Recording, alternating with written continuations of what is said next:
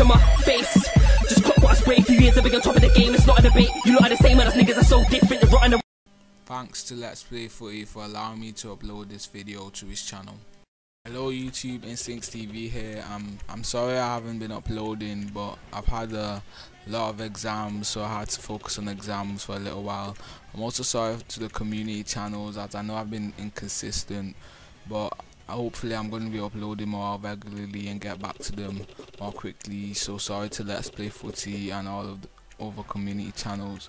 But yeah, I started a new career mode with Swansea because with Aston Villa I played a lot when I had exams but I didn't record or upload anything. So the gameplay was quite behind so it would take me a while to upload it.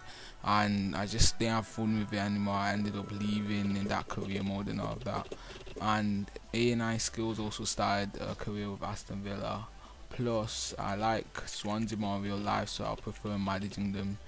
But anyway let's get into this episode 1 of Swansea career mode Right, now with Swansea, I'm going to try and get them into a Europa League side or maybe even a Champions League side.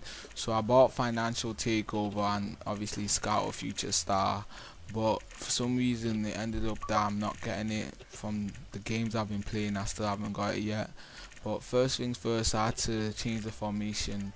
I ended up going with a 4-4-1-1 formation where I played Shechter and Strike um, Michu in, in center attacking mid slash centre forward. I had to change the formation and move him up a bit. Then in midfield, I had De Guzman and um, Britton, I think it is.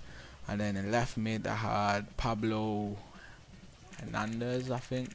Right mid, I had Dyer.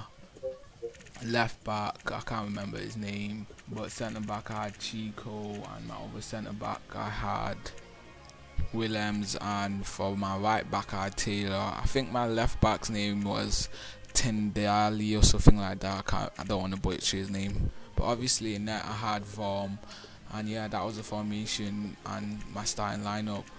But um, I had to go into it, change the work rate to be change the the runs they make. I just wanted to be in control of everything with the club, so that was what I did now as you can see here all the letters start coming in about league objectives and all that.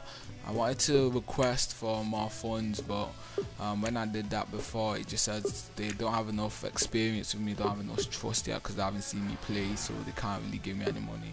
But there you see I checked my trade um, slash budget allocation I think yeah and no money had come in.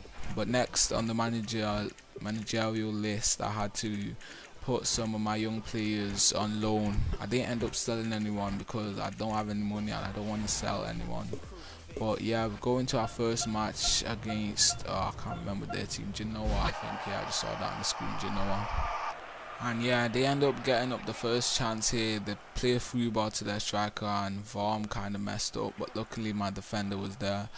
But we take the ball lost the ball a few times, but in the end we won down the wing and we crossed the ball into um, De Guzman, smallest man on my team. I think he is, apart from Pablo Hernandez, and he scores a header and that was the only goal of the match and then on it wasn't really much that much more. But yeah nearly get another goal here.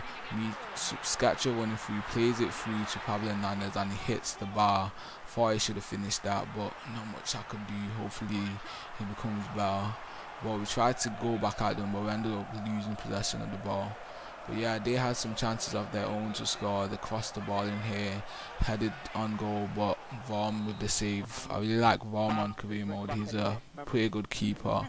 But yeah, the game ends 1-0 and we pick up our first win and after that match um got a few trade offers Vorm I always get Vorm but last time when I countered offered um I ended up selling him without wanting to. So this time I just can't offer like 20 mil. So if they accept it I'm not really bothered. I could get a better keeper.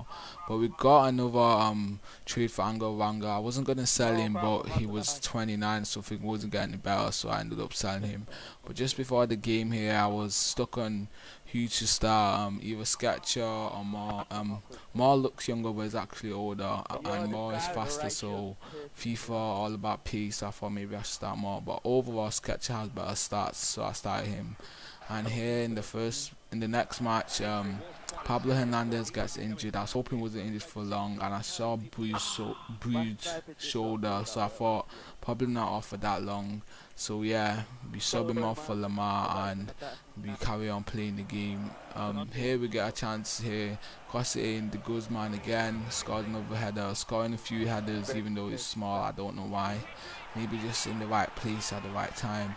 But I think I lost my some of my gameplay. Um, that's it for this. a pessoa.